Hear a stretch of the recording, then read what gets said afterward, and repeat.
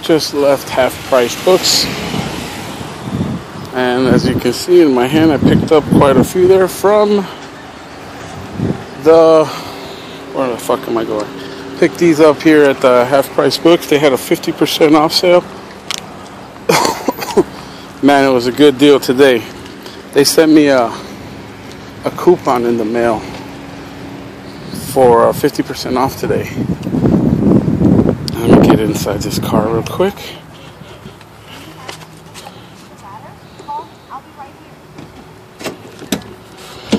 And I'll show you really quick what it was that I found at Half Price Books. Like I said, today they had a 50% off sale.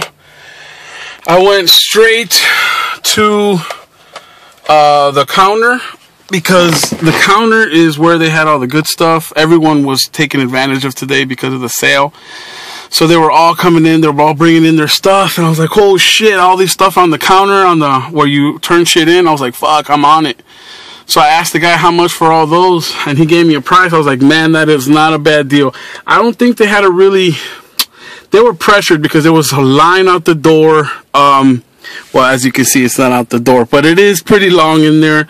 Everyone ransacked everything. Everything's pretty much all emptied out. So what I wound up picking up was a Donkey Kong 64. It's not in bad condition. I got it before they put on that sticker. Like I said, it was on the counter. I picked up a Super Smash Brothers. Nice, nice condition. A Mario Party 3. Also in very nice condition.